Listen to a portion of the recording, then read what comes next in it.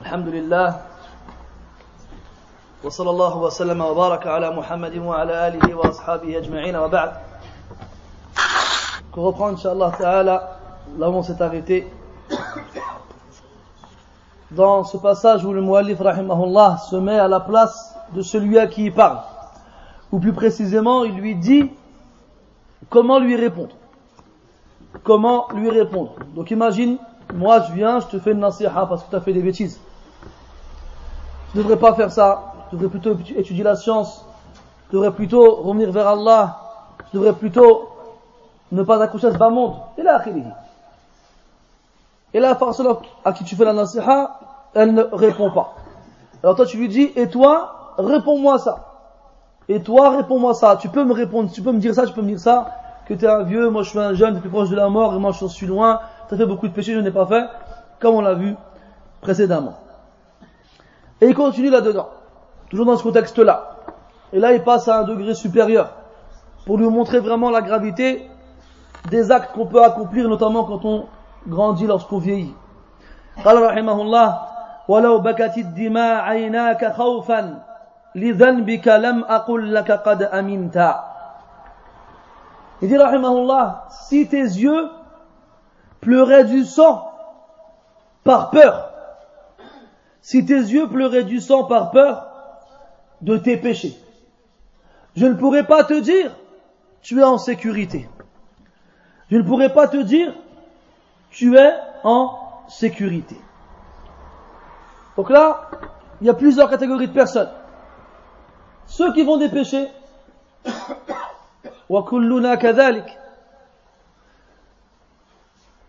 mais qui mais que ça ne dérange pas. Ils font des péchés, mais ça ne les dérange pas.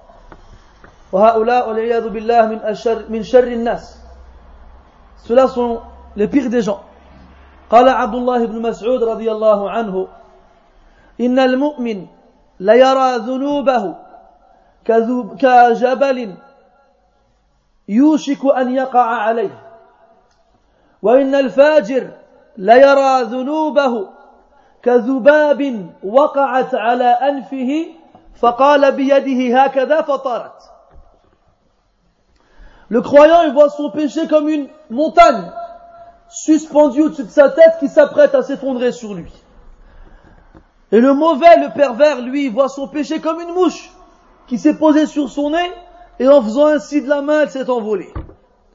Il ne lui accorde pas d'importance. Après, on a ceux qui sont gênés par leur péché. Et ceux-là aussi se divisent en plusieurs catégories. Il y a ceux qui sont conscients qu'ils ont fait des péchés, qui le regrettent, mais ça ne va pas plus loin. Il y a ceux qui sont conscients qu'ils ont fait des péchés, qui le regrettent et qui en pleurent. Mais ça s'arrête au moment où j'essuie leurs larmes. Et il y a ceux qui regrettent leurs péchés, qui en pleurent et qui font tout pour se faire pardonner.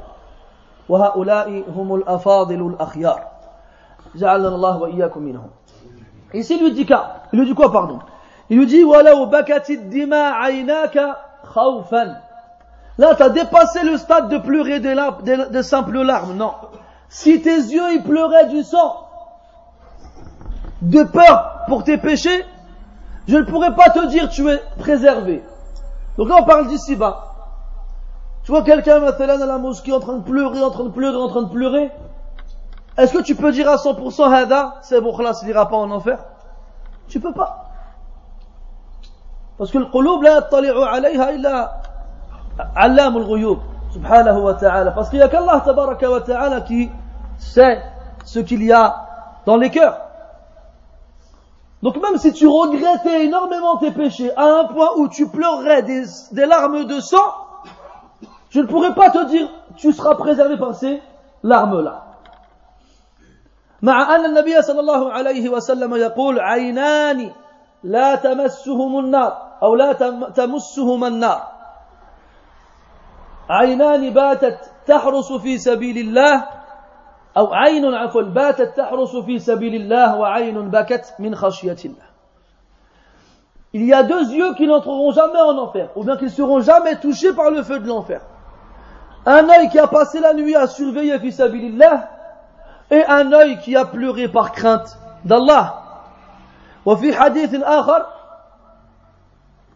deux yeux n'entreront en enfer que lorsque le lait retournera dans la mamelle.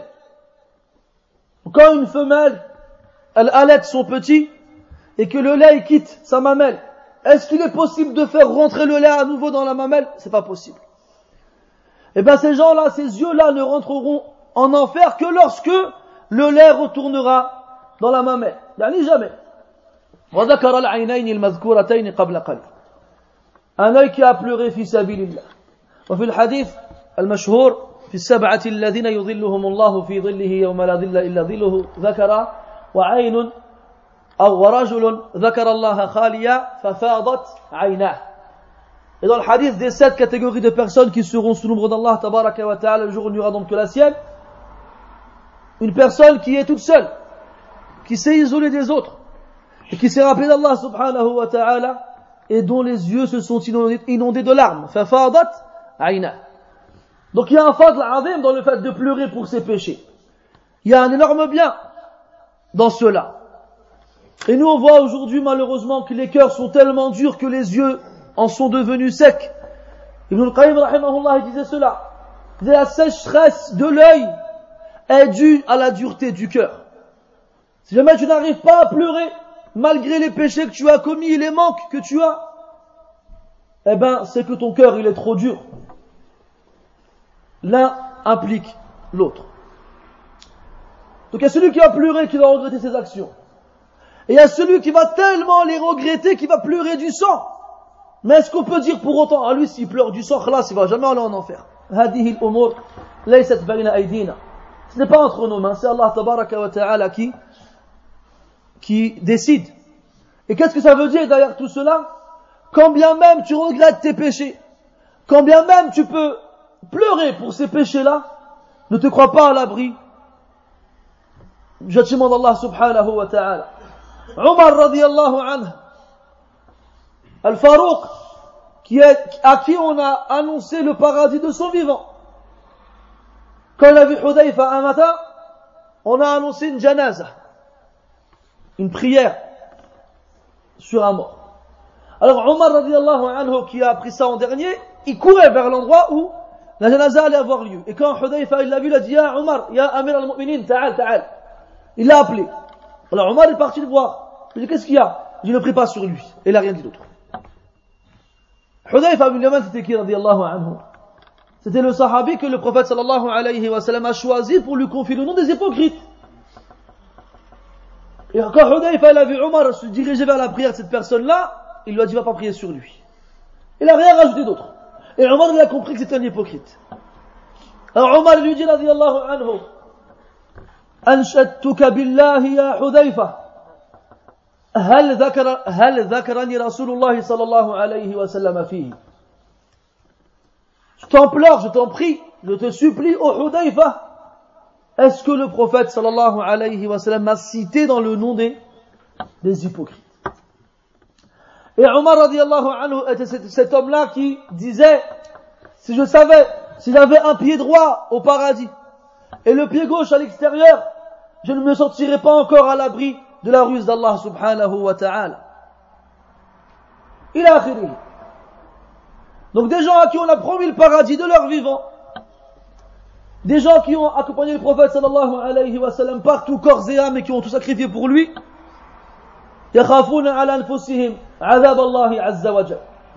Ils ont peur pour eux que le châtiment d'Allah s'abatte sur eux. Donc est-ce qu'on peut dire aux gens qui sont là, ils sont préservés, ils sont, ils sont à l'abri du châtiment parce qu'ils ont pleuré du sang là? Comme il disait Ibn Mas'ud radiallahu anhu, la rahata lil mu'mini duna liqa illa.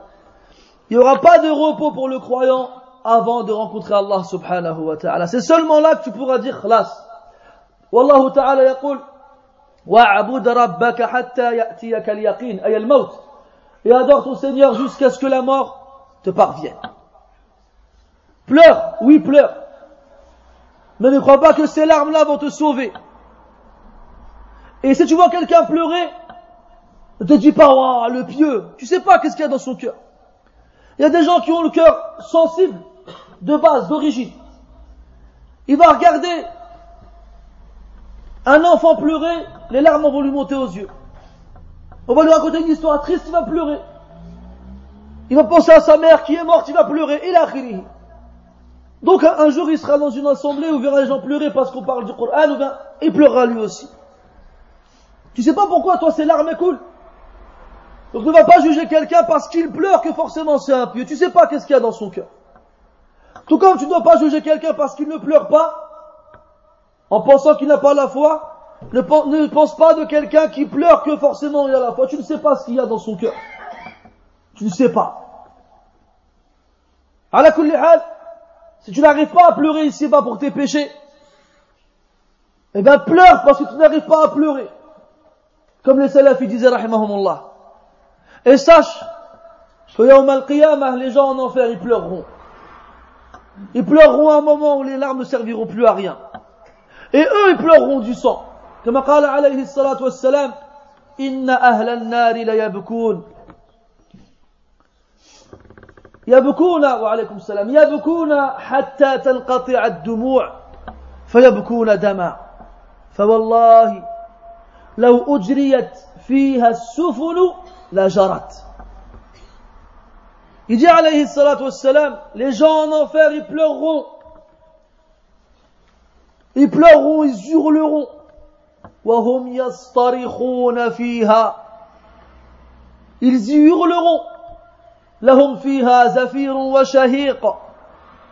Ils y auront des hurlements et des sanglots. Les gens de l'enfer, ils pleureront jusqu'à ce qu'il n'ait plus de larmes. Toutes les larmes de leur corps, ils les auront pleurées. Il n'y en aura plus. Alors ils pleureront du sang. Alors ils pleureront du sang par Allah, si on y posait des bateaux afin qu'ils y voguent, eh ben ils y vogueront. Il y aura tellement de sang qui couleront, de, leurs yeux, qui coulera de leurs yeux que y poser un bateau le fera partie.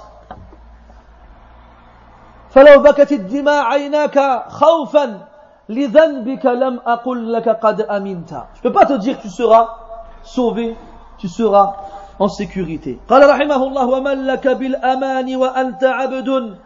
أمرت فما أتمرت وما ولا أطعت ومن لك بالأمان وأنت عبد Qui peut te, pro, te promettre la sécurité alors que tu es un esclave Imagine un esclave qui appartient à un roi puissant. Ce roi puissant ordonne à cet esclave différentes tâches. Tu vas aller arroser tel champ. Et ensuite, tu amèneras le troupeau à tel endroit. Et à la fin, tu, iras me cueillir des dates dans tel et tel arbre. La journée, elle passe, et l'esclave, il a rien fait. Rien. Et le soir, il y a son maître qui arrive se mettre ce roi puissant. Et il lui dit, alors, t'as fait ce que j'ai dit ou pas? Qu'est-ce qu'il va penser? Qu'est-ce qu'il va, qu'est-ce qu'il va ressentir l'esclave au moment où il devra répondre à son maître? Qui va pouvoir le protéger de son maître s'il veut le punir? Qui?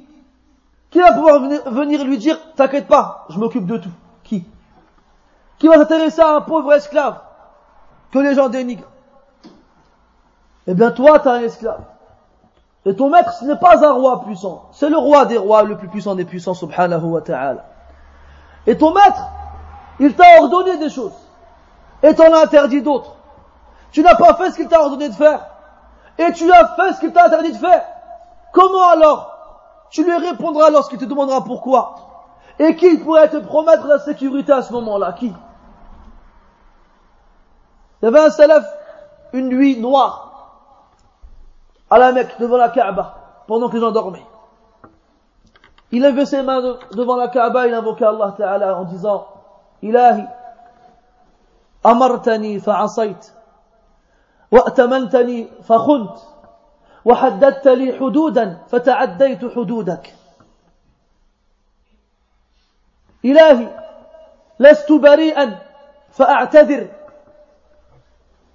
لست بريئا فأعتذر ولا قويا فأنتصر بل مذنب مستغفر بل مذنب مستغفر Il disait, il y avait un, un homme qui faisait tawaf et qui l'a entendu dire ça, il s'est arrêté.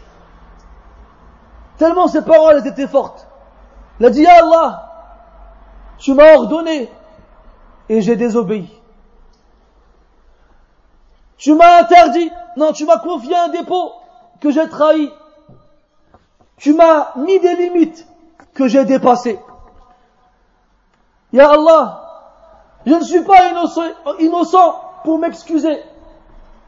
Je ne suis pas puissant pour avoir la victoire sur toi. Mais je suis un pécheur qui demande ton pardon.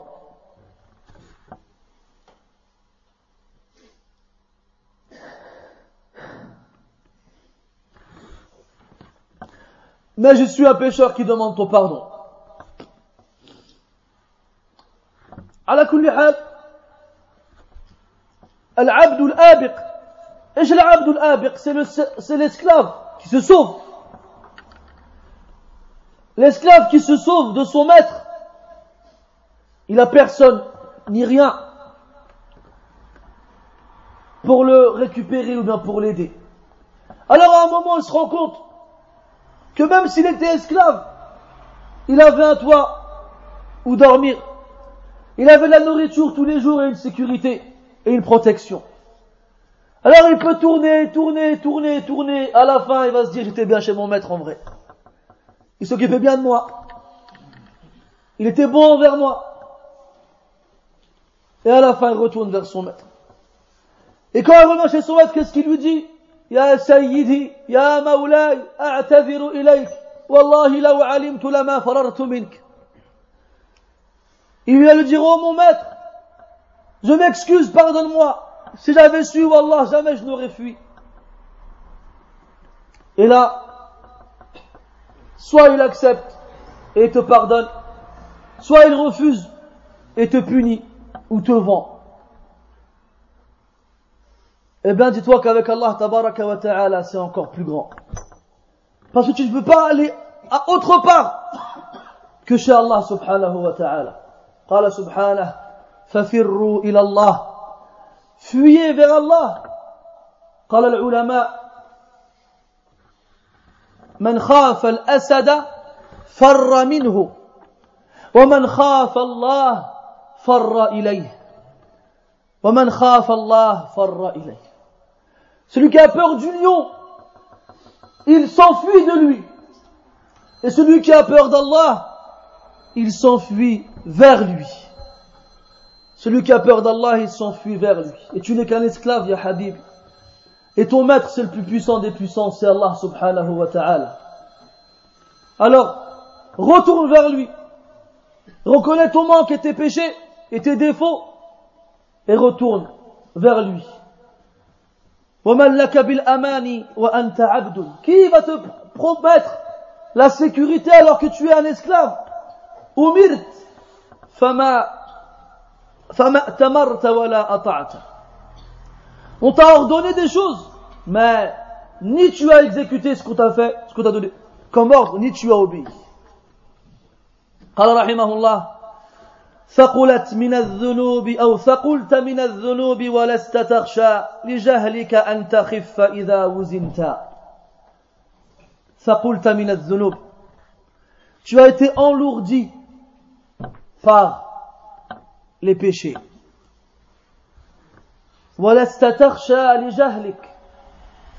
Et tu ne crains pas à cause de ton ignorance. Que tu sois léger le jour où on te pèsera. On porte sur nos épaules de nombreuses charges. Parmi ces charges-là, celle qu'on appelle al-aman, qui consiste à reconnaître qu'Allah Jalla Jalaluhu est le seul à mériter l'adoration et à renier tout ce qui est adoré en dehors de lui. Et aussi ce qu'Allah t'a ordonné et interdit et aussi les péchés. les péchés nous alourdissent et nous font courber les chines, qui nous empêchent de nous tenir droit, fièrement. Donc ici-bas, tu es alourdi par les péchés. Et dans l'au-delà, tu sais qu'on devra, qu'on va peser tes actions, les bonnes et les mauvaises. Les bonnes et les mauvaises. Qu'est-ce qui se passe quand ta balance elle est légère?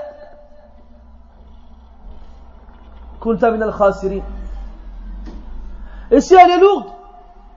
كنت من الفائزين قال سبحانه فأما من ثقلت موازينه فهو في عيشة راضية وأما من خفت موازينه فأمه هاوية Celui dont les balances seront lourdes, alors il sera dans une vie paisible. Quant à celui dont les balances seront légères, alors il sera voué à la perte, à l'enfer. Tu es alourdi par tes péchés ici-bas et tu ne pèseras rien dans la balance. قال قال النبي صلى الله عليه وسلم يؤتى بالرجل السمين العظيم يوم القيامة فلا يزن عند الله جناح بعوضة On apportera, on ramènera le jour du jugement une personne énorme, grosse, lourde, mais elle ne pèsera pas auprès d'Allah le poids de l'aile d'un moustique. Et ça, ça prouve que certaines personnes, le jour du jugement, seront pesées avec leurs actions.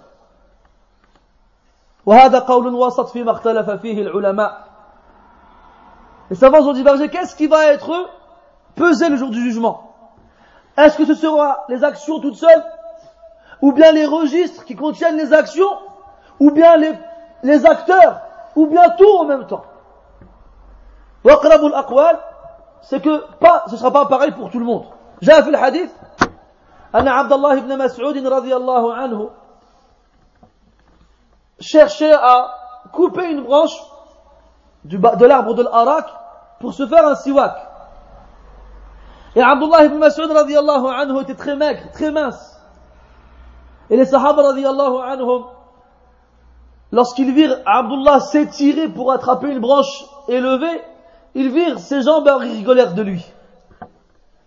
Et le prophète sallallahu alayhi wa sallam qui arrive à ce moment-là, leur dit, Mimma tadhakoun De quoi riez-vous?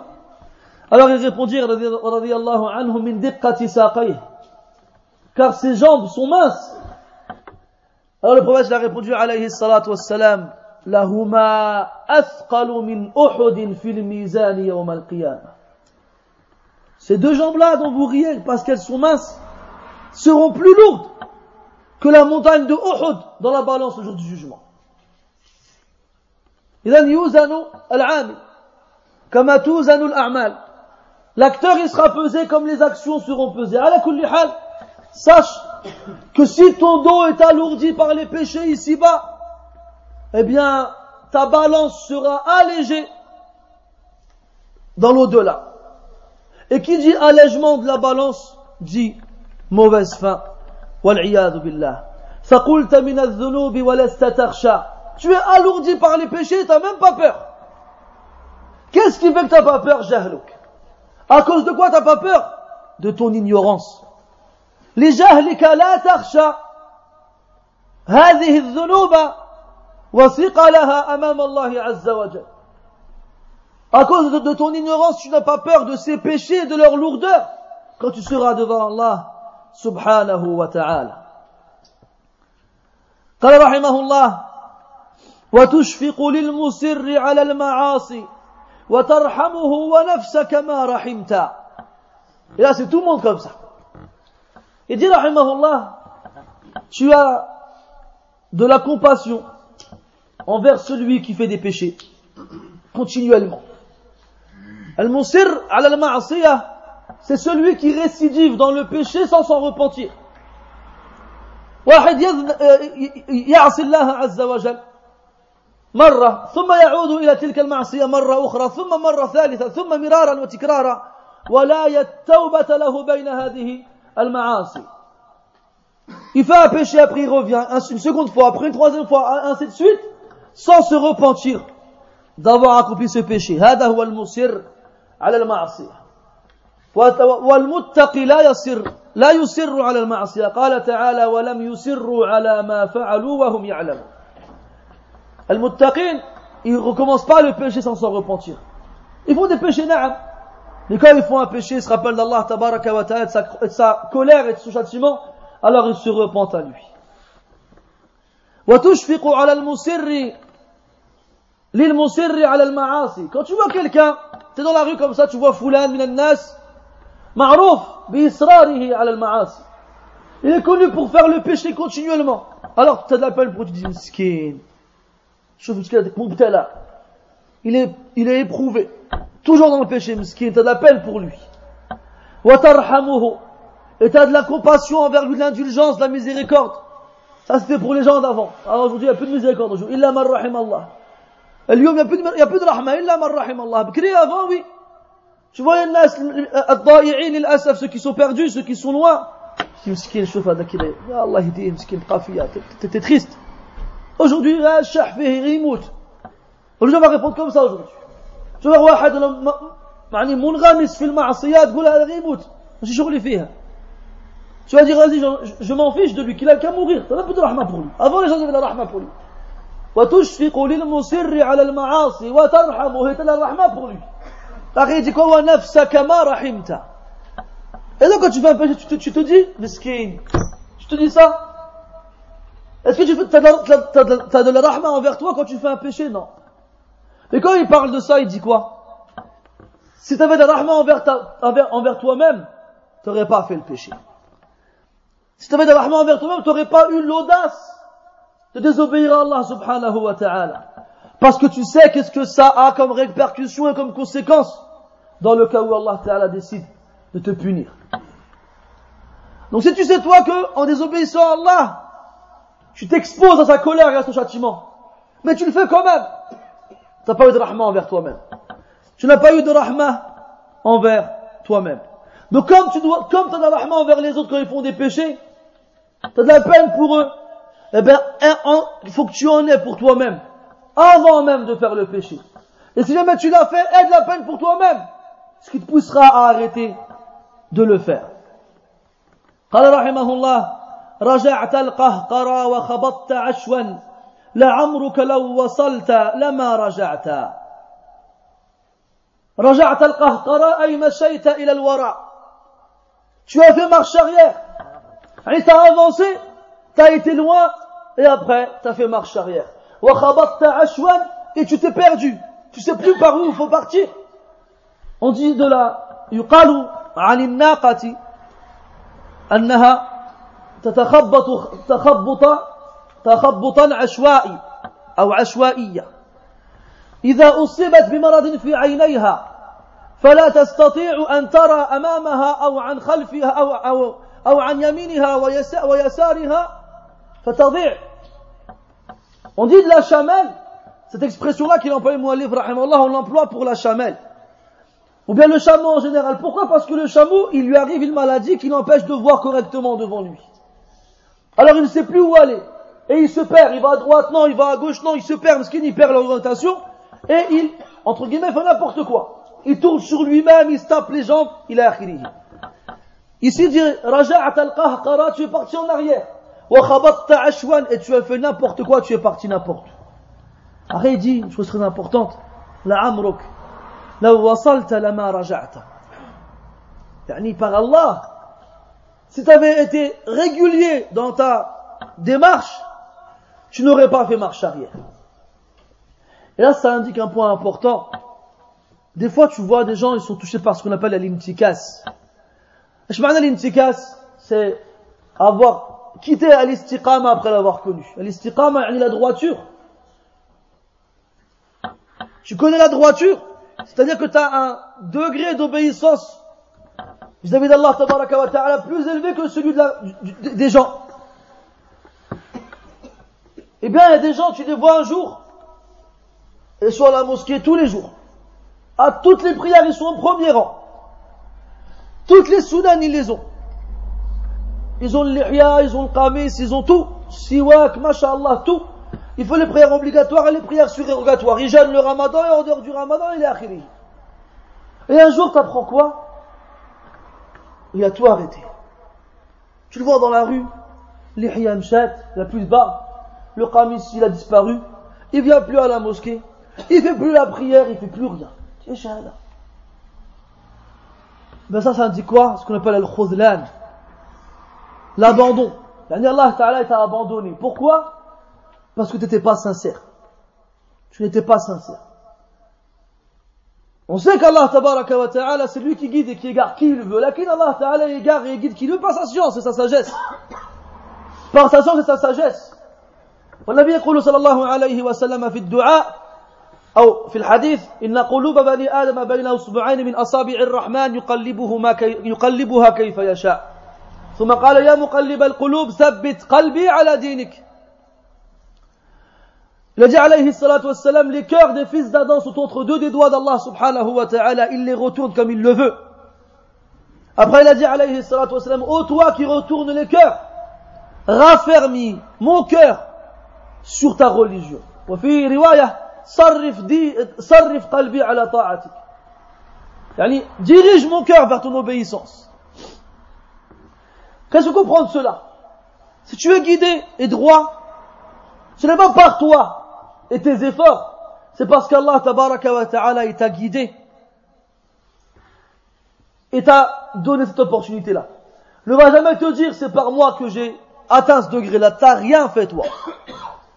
Là où Allah, comme il disait, الصحابة رضي الله عنهم في غزوة الخندق quand ils creusaient les fossés autour de Médine il, il chantait une chanson pour se motiver à creuser disait والله لولا الله لما اهتدينا وما صلينا ولا تصدقنا فأنزلا سكينة علينا وثبت الأقدام إلا قينا إن الأولى قد بغوا علينا إن أرادوا فتنة أبينا أبينا Et le prophète chantait ça avec eux, alayhi salatu wassalam. Il disait, par Allah, sans Allah, nous n'aurions jamais été guidés. Et on n'aurait pas fait la prière, on n'aurait pas fait l'aumône. Ya Allah, fais descendre sur nos cœurs la paisibilité, la tranquillité, et raffermis nos pieds lorsqu'on sera face à nos ennemis. Ceux-là, ils veulent nous, nous, nous, perturber, nous tenter. Euh, en fait, ils, nous ont agressés, ils nous ont fait du mal. In Si eux, ils veulent un mal, nous, on le refuse. Et ils le disaient, ils le répétaient. Dans le Coran, qu'est-ce qu'ils disent les gens du paradis, entre en paradis? الذي هدانا لهذا وما كنا لنهتدي لولا أن هدانا الله Et ils dirent, louange à Allah, celui qui nous a guidés vers cela, vers le paradis. Et nous n'aurions pu y parvenir si Allah ne nous avait pas guidés. Donc ne, ne crois pas que tu es ce que tu es par toi-même, tu n'es rien toi. Et par toi-même tu ne peux rien. C'est Allah wa ta'ala qui t'a guidé et qui, qui a fermé tes pas jusqu'à ce que tu atteignes ce degré de droiture. Alors ne te, ne te, ne te remets pas à toi-même, mais remets-toi à Allah subhanahu wa ta'ala. وكان النبي صلى الله عليه وسلم يقول في الدعاء اللهم لا تكلنا إلى أنفسنا ولا إلى غيرنا Ya Allah, ne nous fais pas nous remettre sur nous-mêmes ou sur un autre. Mais fais qu'on s'en remette à toi. التوفيق من الله. C'est Allah الذي وفقك لهذا. Donc si tu vois quelqu'un, il avance, il avance, il avance, après il s'arrête, il fait marche arrière, il y a un problème. Allah, il n'est pas zalim envers ses serviteurs. Allah, il n'est pas injuste envers ses serviteurs.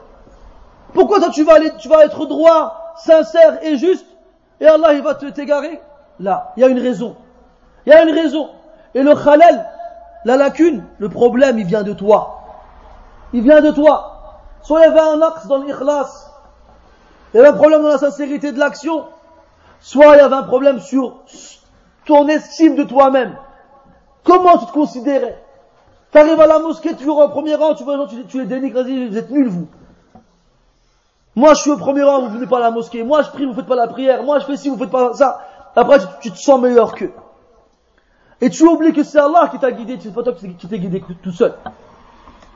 رجعت القهقرى وخبطت عشوا لعمرك لو وصلت لما رجعت Si tu avais été régulier dans, dans, ton cheminement vers Allah, tu ne serais pas revenu. Tu ne serais pas revenu.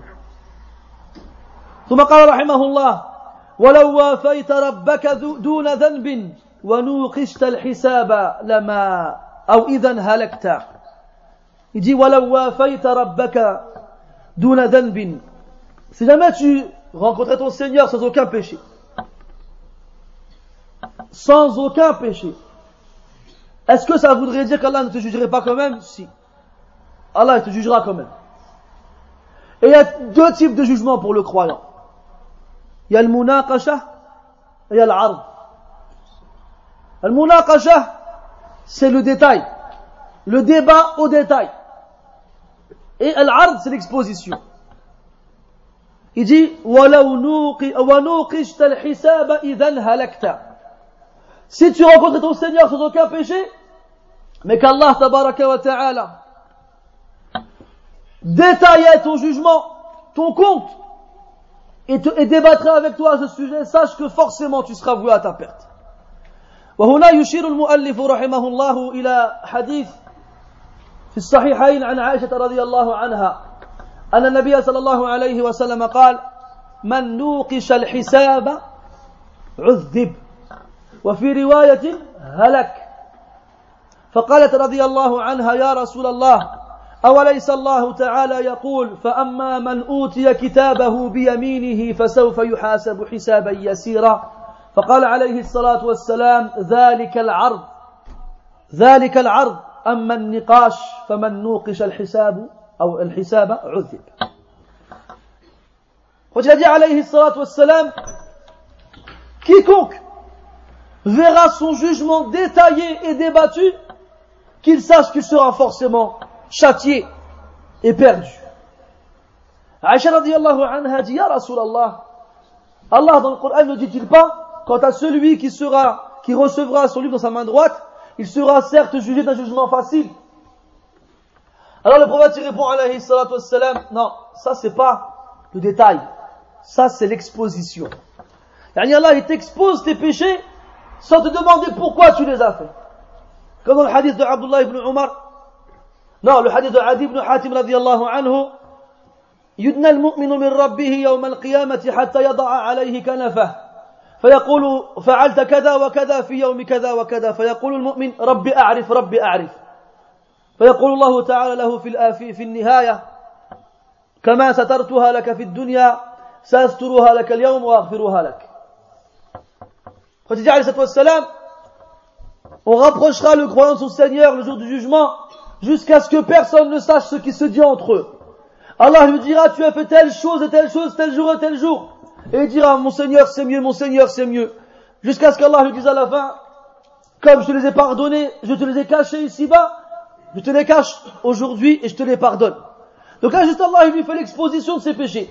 وما على الذين يتقون من حسابهم من شيء ولكن ذكرى ولكن ذكرى يعني il n'y a pas de, de jugement pour les croyants les pieux si ce n'est un rappel Allah il te rappellera les péchés que tu as fait tu as fait ça et ça, ça et ça oui Allah, oui c'est vrai, tu les reconnaîtras et Allah il te les pardonne c'est fini أما الآخر l'autre النقاش c'est pas pareil فعلت كذا وكذا في يوم كذا وكذا لما أنسيت أن الله تعالى أني كنت أبصرك وأنظر إليك وأعلم ما تفعله وأعلم ما تبصر إلى آخره Donc Allah a dit, t'as fait telle chose et telle chose tel jour. Pourquoi Tu m'as oublié. T'as oublié que je te regardais. T'as oublié que je savais ce que tu faisais. T'as oublié qu'avec mes anges qui écrivaient tes actions. Et Allah là, il va lui faire des reproches, il va lui faire des détails et débattre. Et quiconque aura un jugement de ce, ce genre-là, qu'il sache que forcément à la fin il sera châtié. billah. Donc il dit ici ولو وافيت ربك دون ذنب ونوقشت إذا هلكت ونوقشت الحساب إذا هلكت Et quiconque rencontre son Seigneur sans aucun péché, mais Allah lui fera un détail de son jugement et débattra avec lui à ce sujet-là, qu'il sache qu'il sera alors perdu. Donc ce qui compte, c'est qu'Allah Ta'ala te pardonne tes péchés et il ne t'en tient pas rigueur lorsque tu seras devant lui. Et pas d'arriver devant lui sans aucun péché. Fais attention. Et ne te crois pas à l'abri, même devant Allah Ta'ala, même sans aucun péché. Tant que tu n'es pas au paradis, ce n'est pas fini. Tant que tu n'es pas au paradis, ce n'est pas fini.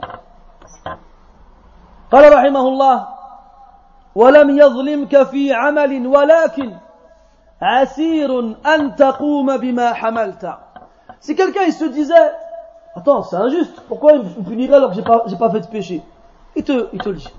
Allah Ta'ala, il t'a pas fait de péché, il t'a pas fait de, de, de, de tort. Il n'a pas été injuste envers toi. وَلَمْ يَظْلِمْكَ فِي عَمَلٍ Allah t'a pas fait d'injustice dans aucune action, aucune. Il va pas te punir pour une chose que tu n'as pas faite. ولا تزر وازرة وزر أخرى ولكن عسير أن تقوم بما حملت mais c'est dur de se lever devant Allah avec ce qu'on a porté auparavant C'est dur de se lever devant Allah avec ce qu'on a apporté auparavant. Qu'est-ce que ça veut dire ça? On parle de l'amana. Allah dit dans le Coran Inna aradna al-amanata ala samawati wal-ardi wal-jibal. فأبين أن يحملنها وأشفقن منها وحملها من؟ الإنسان وحملها الإنسان إنه كان ظلوما جهولا Nous avons exposé le dépôt aux cieux, à la terre et aux montagnes. Elles refusèrent de la porter et en eurent peur. Et l'être humain la porta, et certes, il était ignorant et injuste. Et nous, on sait que ce n'est pas nos actions qui nous feront rentrer au paradis. قال عليه الصلاة والسلام لن يدخل أحدكم الجنة بعمل Personne ne rentrera parmi vous au paradis par ses actions. Et la première des choses qu'Allah te demandera le jour du jugement, c'est que tu reconnaisses les bienfaits qu'il t'a offerts. Wa alaykum salam. يعرفك الله نعمه عليك فتعرفها ولا يمكن لك أن تنكرها Allah te fera reconnaître les bienfaits qu'il t'a offerts. Et tu ne pourras pas les renier. Tu ne pourras pas. Et même si tu étais resté prosterné de, ta naissance jusqu'à ta mort, eh ben, tu n'aurais pas été suffisamment reconnaissant envers Allah pour tous les bienfaits qu'il t'a offerts. Tu n'aurais pas été suffisamment reconnaissant. Donc si Allah Ta'ala nous jugeait par rapport à ses bienfaits, personne n'échapperait à son châtiment. Parce que personne n'a remercié Allah Ta'ala comme il se le devait. ما شكرنا الله حق شكره يا الله تبارك وتعالى il nous fait rentrer au paradis bifadlihi wa rahmatih. Il nous fait rentrer au paradis par sa miséricorde et par sa grâce, pas par nos actions. Donc Allah, il n'est pas injuste. Et nous, on n'a rien fait. On n'a rien fait. Quand même on a été obéissant et vertueux et pieux et, et méritoire et tout ce que tu veux, devant tout ce qu'Allah nous a donné, on n'a rien fait. ولو وافيت ربك دون ذنب ونوقشت الحساب إذا هلكت ولم يظلمك في عمل ولكن عسير أن تقوم بما حملت c'est dur de te tenir debout devant Allah avec ce que tu as dû porter ici-bas la amana que tu n'as pas porté correctement les péchés qui ont alourdi ton dos et les obligations que tu n'as pas faites correctement, il a akhiri. Donc Allah, il n'est pas injuste envers ses serviteurs.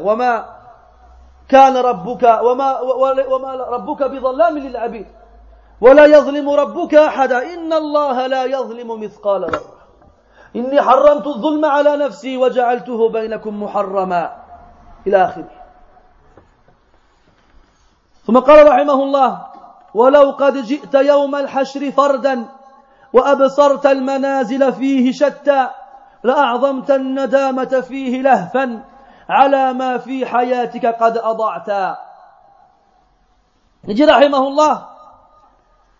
Et lorsque tu arriveras le jour du jugement tout seul, et on arrivera tous tout seul devant Allah subhanahu wa ta'ala. قال سبحانه وتعالى إن كل من في السماوات والأرض إلا آتي الرحمن عبدا لقد أحصاهم وعدهم عدا وكلهم آتيه يوم القيامة فردا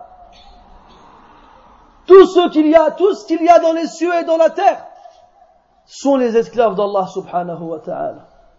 Il les a tous comptés. Il sait combien ils sont. وعدهم عدا وكلهم et tous viendront à lui le jour du jugement tout seuls.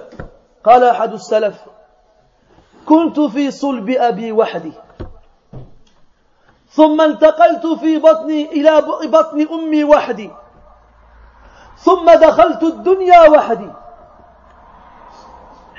ثم تقبض روحي تقبض روحي وحدي. ثم أدفن وحدي وأدخل قبري وحدي. ثم يأتياني أو ثم يأتيني الملكان فيسألاني وحدي. فإن سرت إلى خير سرت وحدي. ثم أحشر يوم القيامة وحدي. ثم توضع أعمالي في الميزان فأحاسب عليها وحدي. فإن كنت من أهل الجنة كنت فيها أو ذهبت إليها وحدي. وإن كنت من أهل النار ذهبت إليها وحدي. فما لي وللناس. فما لي وللناس. Il disait, rahimahullah, j'étais dans le, les reins de mon père tout seul. Ensuite, j'étais dans le ventre de ma mère tout seul. Ensuite, je suis arrivé ici-bas tout seul. Ensuite, on prendra mon âme tout seul. On m'enterrera tout seul. Les anges m'interrogeront alors que je, serai tout seul. Je serai ressuscité tout seul. Et je serai jugé tout seul. Pourquoi alors m'attarder sur les gens?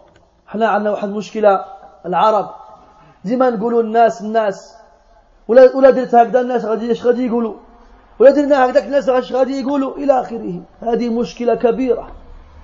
كبيرة جدا. تمنع الناس عن الخير كثيرا. وتحول بينهم وبين ربهم كثيرا. Hein, nous les Arabes, on a un gros problème. Les gens. Qu'est-ce qu'ils vont dire les gens? Oh là là, qu'est-ce qu'ils vont dire les gens? Et cette parole-là, les gens, elle a été un obstacle très souvent pour qu'on fasse le bien. Exemple. إحنا عندنا واحد قاعدة في البلاد إذا مات الرجل أو المرأة داروا واحد صدقة بعد أربعين يوما أو أربعين يوما بعد وفاته وهذه الصدقة ما أنزل الله بها من سلطان وأتحدى أي أحد أن يأتيني بدليل ولو ضعيف يدل على هذا طيب. انت تهضر مع الناس تقول لهم يا أحبابي الكرام الله رد عليكم هذا ما أنزل الله به من سلطان. وحرام على المسلمين أن يتعبدوا لله بشيء لم يشرعه الله سبحانه وتعالى. يقول لك عندك الحق ولدي لكن ولا ما درناهاش الناس غادي يهضروا علينا؟ صح ولا ولا ماشي بصح كاين ولا ما كايناش؟ تجد الناس الرجل يموت وباغيين يجيبوا طلبه لابد يجيبوا طلبه قولوا أيها الناس طلبه هذوك كيربحوا الفلوس عليكم. وهذه الأعمال وهذه القراءة بدعية. النبي مات عليه الصلاة والسلام وما ما قراوش عليه كما كديروا أنتم والصحابة ماتوا كذلك ما قراوش عليهم كما كما كديروا أنتم يعني بدعة هذيك. عندك الحق ولدي ولكن ولما درناهاش الناس غادي يهضروا والأمثلة في هذا الباب كثيرة. كثيرة جدا. قد تعرفونها أكثر مني Nous, on a des gros problèmes. Les Maghrébins, les Arabes en général. C'est les gens, les gens, les gens. Combien de fois les gens t'ont obligé de faire du bien Et combien, combien de fois les gens ils t'ont fait faire du mal Combien de fois T'as vu ça À la hal, combien de fois t'as fait du, t'as dû faire du mal à cause d'eux Comme par exemple, quelqu'un il meurt dans la famille et ils veulent absolument ramener Tulba. Ils vont dire non, on ramène Tulba. Subhanallah, Tulba c'est le groupe, hein, des, des, des ils appellent le fuqaha, le fuqaha ils appellent.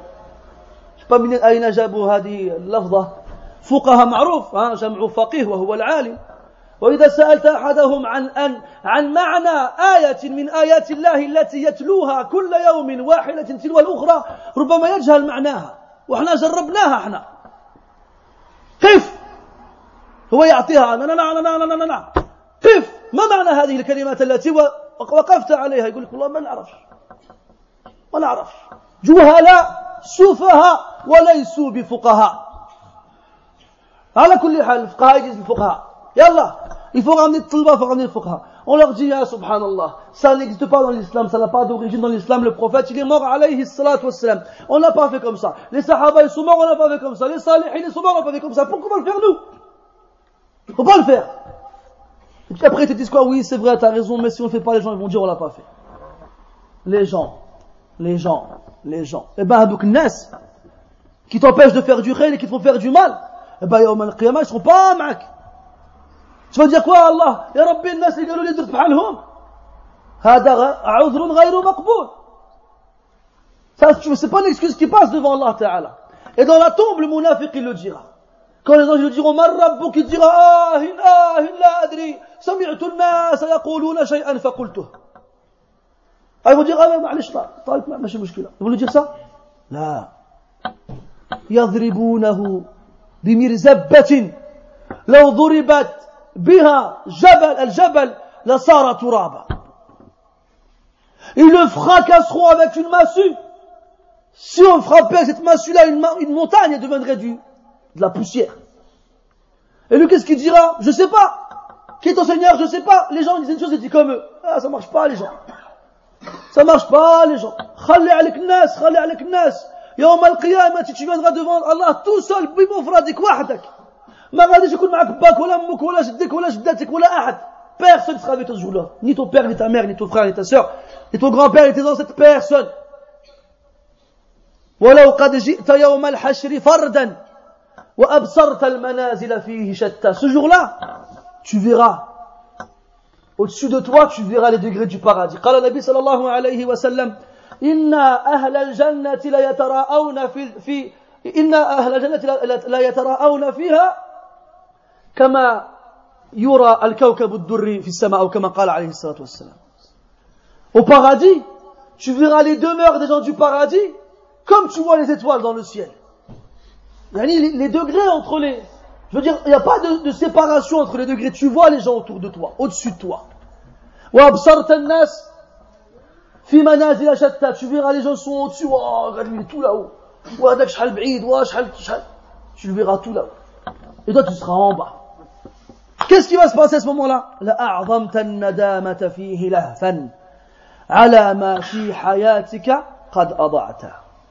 Là, à ce moment-là, tu vas éprouver un regret énorme. Parce que tu as gaspillé énormément de choses ici-bas. ويوم القيامة يسمى ايش يوم الندامة يوم الحسرة والندامة Le jour du jugement, on l'appelle le jour des regrets. Tu vas regretter.